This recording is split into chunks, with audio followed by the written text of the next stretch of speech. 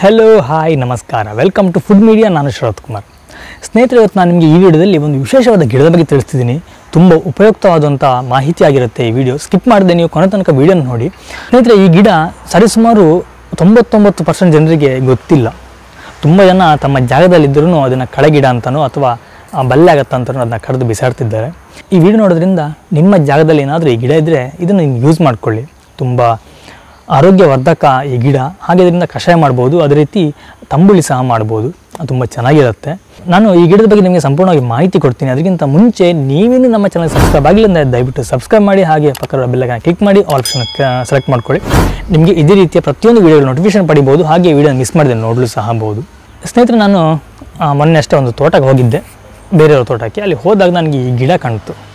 ಹಾಗೆಯೇ ಈ ಗಿಡದ ಬಗ್ಗೆ ನನಗೆ ಲಕ್ಷ್ಮಣ ಅನ್ನೋರು ಒಂದು ಕಮೆಂಟ್ ಹಾಕಿದ್ರು. ಅವರು ನೆಕ್ಕರ ತಪ್ಪಿನ ಬಗ್ಗೆ ನನಗೆ ಮಾಹಿತಿ ಕೊಡಿ ಅಂತ ಕೇಳಿದರು. ಹಾಗೆ ನಾನು ಹೋದಾಗ ನನಗೆ ಗಿಡ ಸಿಕ್ತು. ಹಾಗೆ ಅದಕ್ಕೋಸ್ಕರ ಈ ವಿಡಿಯೋನ ಮಾಡಿ ನಿಮ್ಗೆ ನಾನು ಪ್ರತಿಯೊಬ್ಬರಿಗೆ ಗೊತ್ತಾಗಲಿ ಅನ್ನೋದಕ್ಕೋಸ್ಕರ ನಿಮ್ಗೆ ನಾನು ತಿಳಿಸ್ಕೊಡ್ತಿದ್ದೀನಿ. ಇದು ಹೆಚ್ಚಾಗಿ ರೋಡ್ ಸೈಡು ಇಲ್ಲಾಂದರೆ ಕಾಡಲ್ಲಿ, ಇಲ್ಲಾಂದರೆ ತೋಟದಲ್ಲಿ ಹೆಚ್ಚಾಗಿ ಬೆಳೆಯುತ್ತೆ. ಇದು, ಆ, ಗುಂಪು ಗುಂಪಾಗಿ ಬೆಳೆಯೋದ್ರಿಂದ ಸ್ವಲ್ಪ ಪೊದೆ ಥರ ಆಗುತ್ತೆ, ಅಂದರೆ ಬಲ್ಲೆ ಥರ ಆಗುತ್ತೆ. ಹಾಗಾಗಿ ಇದನ್ನು ತುಂಬ ಜನ ಕರೆದು ವೇಸ್ಟ್ ಮಾಡ್ತಿದ್ದಾರೆ. ಸ್ನೇಹಿತರೆ, ಈ ಗಿಡಕ್ಕೆ ಇಂಗ್ಲೀಷ್ನಲ್ಲಿ ಮಲಬಾರ್ ಮೆಲಸ್ಟೋಮಾ ಅಂತಲೂ ಸಹ ಕರೀತಾರೆ. ಇದರ ವೈಜ್ಞಾನಿಕ ಹೆಸರು ಮೆಲಸ್ಟೋಮಾ ಮಲಬ್ಯಾಟ್ರಿಕಮ್. ಇಂಡಿಯನ್ ರೋಡೋಡೆಂಡ್ರಾನ್ ಅಂತಲೂ ಸಹ ಕರೀತಾರೆ. ಸಿಂಗಾಪುರ್ ರೋಡೋಡೆಂಡ್ರಾನ್ ಅಂತಲೂ ಸಹ ಇದಕ್ಕೆ ಹೆಸರಿದೆ. ಈ ಗಿಡಕ್ಕೆ ದೊಡ್ಡ ನೆಕ್ಕರಿಕ ಅಂತ ಕರೀತಾರೆ. ಇದನ್ನು ಬೇರೆ ಬೇರೆ ಹೆಸರುಗಳಿಂದ ಕರೀತಾರೆ. ಇಲ್ಲ, ನೆಕ್ಕರೆ ಗಿಡ ಅಂತಲೂ ಕರೀತಾರೆ. ತುಳುವಲ್ಲಿ ನೆಕ್ಕರೆ ತಪ್ಪು ಅಂತಾರೆ.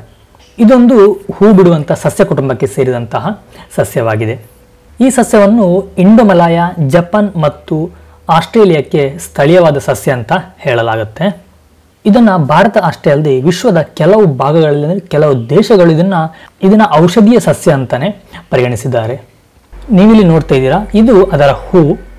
ಸಾಮಾನ್ಯವಾಗಿ ಇದು ನೇರಳೆ ಕಲ್ಲರಿಂದ ಕೂಡಿರುತ್ತೆ. ನೋಡ್ಲಿಕ್ಕೆ ಸಹ ಹಾಗೆ ತುಂಬ ಸುಂದರವಾದಂತಹ ಹೂ ಇದು. ನೋಡಿ, ಇದರ ಎಲೆ ಈ ರೀತಿಯ ರಚನೆಯನ್ನು ಹೊಂದಿರುತ್ತೆ. ನಿಮಗೆ ಇಲ್ಲಿ ಕಾಣ್ತಿರ್ಬೋದು ಒಂದು ಕಜ್ಜಿ ಕಜ್ಜಿಯಾದ ಗುಳ್ಳೆ ಗುಳ್ಳೆ ಆದಂತಹ ಒಂದು ರಚನೆ ಇದನ್ನು ನೋಡ್ತಿರ್ಬೋದು. ಈ ರೀತಿಯಾಗಿರುತ್ತೆ. ಹಾಗೆ ಈ ಗಿಡದ ಎಲೆಯ ಸುತ್ತಲೂ ರೋಮಗಳಿರುತ್ತೆ. ನಿಮಗೆ ಇಲ್ಲಿ ಕೂದಲ ರೀತಿಯಲ್ಲಿ ರೋಮಗಳನ್ನ ಕಾಣ್ಬೋದು. ಈ ಗಿಡದ ಎಲೆಯಲ್ಲಿ ಅಷ್ಟೇ ಅಲ್ಲದೆ, ಆ ಗಿಡದಲ್ಲಿ ಸಹ, ಅಂದರೆ ಆ ಕಾಂಡದಲ್ಲಿಯೂ ಸಹ ರೋಮಗಳನ್ನು ನೀವು ಕಾಣಬಹುದು. ಈ ರೀತಿಯಾಗಿ ರಫ್ ಆಗಿರುತ್ತೆ. ನೀವು ಇದನ್ನು ಮುಟ್ಟಿದಾಗ ನಿಮಗೆ ಫೀಲ್ ಆಗುತ್ತೆ, ಅದು ಒಂಥರ ದರಗ್ ದರಗಾಗಿ ರಫ್ ಇರುತ್ತೆ, ನಿಮಗೆ ಸ್ಮೂತಾಗಿ ಇರೋದಿಲ್ಲ. ಇದರ ಎಲೆ ಹಿಂಭಾಗ ಮೂರು ದೊಡ್ಡ ನರಗಳಿರುತ್ತೆ. ನೀವು ನೋಡ್ತಿರ್ಬೋದು ಮಧ್ಯೆ ನೇರಕ್ಕಾಗಿ, ನೇರವಾಗಿ ಒಂದು ನರ ಇದೆ. ಹಾಗೆ ಸೈಡಲ್ಲಿ ಆ ಕಡೆ ಕಡೆ ಎರಡು ನರಗಳನ್ನು ನಾವು ನೋಡಬಹುದು. ಎಲೆಯ ಹಿಂಭಾಗದಲ್ಲಿಯೂ ಸಹ ಸಣ್ಣ ಸಣ್ಣ ರೀತಿಯ ರೋಮಗಳನ್ನು ನಾವು ನೋಡಬಹುದು. ಸ್ನೇಹಿತರೆ, ನಾನು ನಿಮಗೆ ಪುನಃ ಪುನಃ ಚೆನ್ನಾಗಿ ಕ್ಲೀನಾಗಿ ತೋರಿಸ್ತಾ ಇದ್ದೀನಿ. ಎಲೆಯ ಹಿಂಭಾಗ, ಎಲೆಯ ಭಾಗ, ಹೂವು, ಅದರ ಗಿಡ ಪ್ರತಿಯೊಂದನ್ನು ತೋರಿಸ್ತಾ ಇದ್ದೀನಿ. ಕ್ಲೀನಾಗಿ ಅಬ್ಸರ್ವ್ ಮಾಡ್ಕೊಳ್ಳಿ. ಯಾವುದೇ ಕಾರಣಕ್ಕೂ ವೀಡಿಯೋನ ಸ್ಕಿಪ್ ಮಾಡದೆ ಕ್ಲೀನ್ ನೋಡ್, ನೋಡ್ಕೊಂಡು ಹೋಗಿ, ನಿಮಗೆ ಎಲ್ಲರೂ ಸಿಕ್ಕಿದ್ರೆ ಗುರುತಿಡಲಿಕ್ಕೆ ತುಂಬ ಈಸಿ ಆಗುತ್ತೆ. ಇದು ತೋಟದಲ್ಲಿ ಬೆಳೆದಿದೆ. ಹಾಗಾಗಿ ತುಂಬ ಚೆನ್ನಾಗಿ ಸೊಂಪಾಗಿ ಬೆಳೆದಿದೆ. ಆ ಗಿಡ ನೋಡಲಿಕ್ಕೆ ಒಂದು ಖುಷಿ ಅನಿಸುತ್ತೆ. ಆ ಹಸಿರು ಬಣ್ಣ ನೋಡಲಿಕ್ಕೆ ತುಂಬ ಖುಷಿ ಅನಿಸುತ್ತೆ. ನೀವು ಇಲ್ಲಿ ವಿಡಿಯೋದಲ್ಲಿ ನೋಡುವಾಗಲೇ ಒಂಥರ ಖುಷಿ ಅನಿಸುತ್ತೆ. ನಾವು ನೇರವಾಗಿ ನೋಡುವಾಗ ಇನ್ನೂ ತುಂಬ ಅದನ್ನು ಖುಷಿ ಅನಿಸುತ್ತೆ. ಆ ಹಸಿರು ಬಣ್ಣ ಆಗಲಿ, ಆ ಗಿಡವಾಗಲಿ, ಆ ಹೂವಾಗಲಿ. ಈ ಗಿಡದ ಕಾಂಡ, ಅಂದರೆ ಆ ಗಿಡ ಏನು ದಂಟಿದೆಯೋ ಅದು ಕೆಂಪು ಬಣ್ಣದಿಂದ ಕೂಡಿರುತ್ತೆ. ನೀವು ಇಲ್ಲಿ ಅಬ್ಸರ್ವ್ ಮಾಡ್ತಿರ್ಬೋದು. ನಿಮಗೆ ಕ್ಲೀನಾಗಿ ಕಾಣ್ತಾ ಇದೆ ಕೆಂಪು ಬಣ್ಣದಲ್ಲಿ ಕೂಡಿರುತ್ತೆ ಇದು.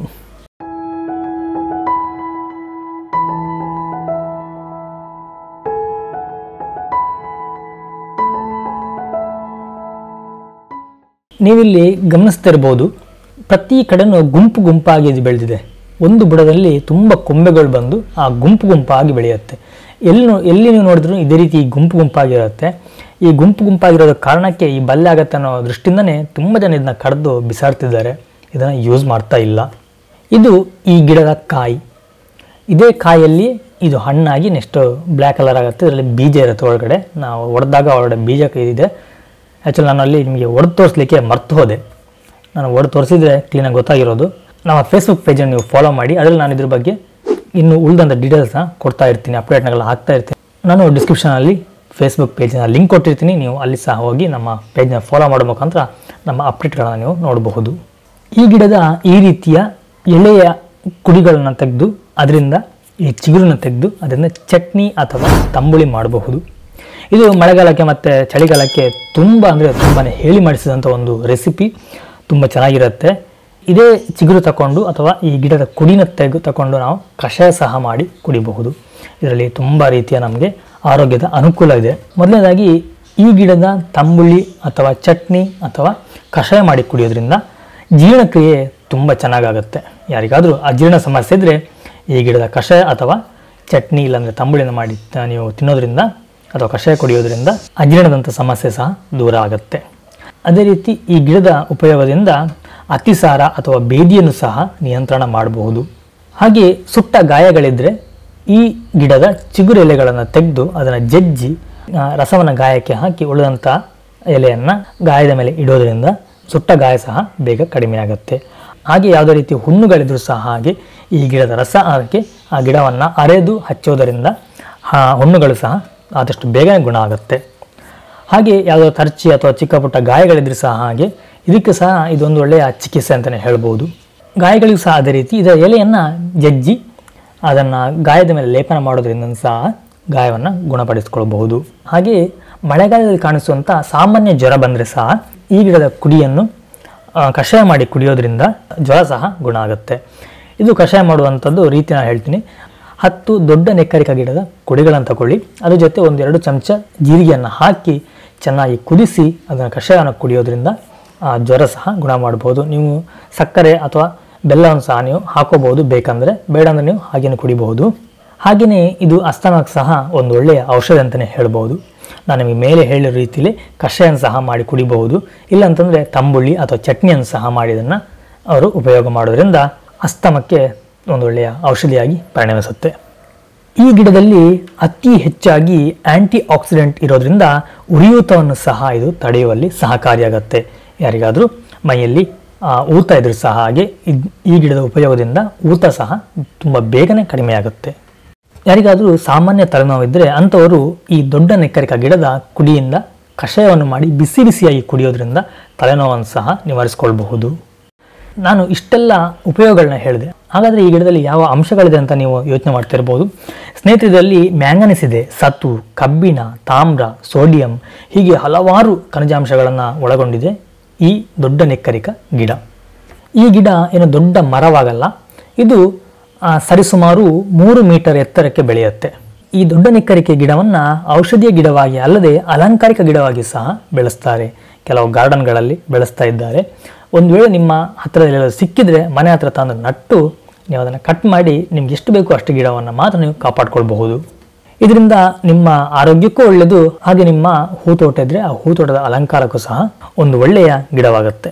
ಸ್ನೇಹಿತರೆ, ನೋಡಿದ್ರಲ್ಲ, ಇದಿಷ್ಟು ದೊಡ್ಡ ನಿಕ್ಕರಿಕ ಗಿಡದ ಮಾಹಿತಿಯಾಗಿತ್ತು. ಈ ಮಾಹಿತಿ ನಿಮಗೆ ಇಷ್ಟ ಆಗಿದೆ ಕೊಡ್ತೀನಿ. ಇಷ್ಟ ಆಗಿದೆ ಒಂದು ಲೈಕ್ ಕೊಡಿ ಹಾಗೆ ಚಾನಲ್ಗೆ ಸಬ್ಸ್ಕ್ರೈಬ್ ಮಾಡಿ. ನಾನು ಇದೇ ರೀತಿಯ ವಿಡಿಯೋಗಳನ್ನ ತರ್ತಾ ಇರ್ತೀನಿ ನಿಮ್ಮ ಮುಂದೆ. ನೀವು ಸಪೋರ್ಟ್ ಮಾಡಿ, ಹಾಗೆ ವಿಡಿಯೋಗಳನ್ನ ಶೇರ್ ಮಾಡಿ. ಯಾಕಂತಂದರೆ ನಾನು ಹೇಳುವಂಥ ಕೆಲವು ವಿಷಯಗಳು ತುಂಬ ಜನಕ್ಕೆ ಗೊತ್ತಿರಲ್ಲ. ನಿಮ್ಮ ಸ್ನೇಹಿತರಿಗೂ ಅಥವಾ ನಿಮ್ಮ ಸಂಬಂಧಿಕರಿಗೂ ಈ ಒಂದು ಇನ್ಫಾರ್ಮೇಷನ್ ಅವ್ರಿಗೆ ಹೆಲ್ಪ್ ಆಗುತ್ತೆ. ಆದಷ್ಟು ಶೇರ್ ಮಾಡಿ. ಈಗ ಹೇಗೂ ವಾಟ್ಸಪ್ಪು ಫೇಸ್ಬುಕ್ ಅಂತ ತುಂಬ ವೇಗಳಿದೆ ಸೋಷಿಯಲ್ ಮೀಡಿಯಾಸ್ ಮೀಡಿಯಾಗಳಿದ್ದಾವೆ ಅದರಲ್ಲಿ ಅದ್ರ ಮುಖಾಂತರ ನೀವು ಶೇರ್ ಮಾಡಿ.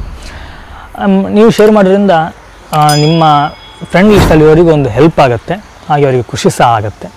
ಸ್ನೇಹಿತರೆ, ನಾನು ಲಾಸ್ಟ್ ಒಂದು ವೀಡಿಯೋ ಹಾಕಿದ್ದೀನಿ ಬ್ಲ್ಯಾಕ್ ಫಂಗಸ್ ಬಗ್ಗೆ. ನನಗೆ ಆ ವಿಡಿಯೋಕ್ಕೆ ಒಳ್ಳೆ ಪ್ರತಿಕ್ರಿಯೆ ಬಂದಿದೆ. ನೀವು ನೋಡಿಲ್ಲ ಅಂದರೆ ಆ ವಿಡಿಯೋಸ್ ನೋಡ್ಕೊಂಬನ್ನಿ. ನಿಮಗೆ ಐ ಬಿಟಲ್ಲಿ ಕೊಟ್ಟಿರ್ತೀನಿ, ಹಾಗೆ ಡಿಸ್ಕ್ರಿಪ್ಷನ್ ಕೊಟ್ಟಿರ್ತೀನಿ ನಾನು.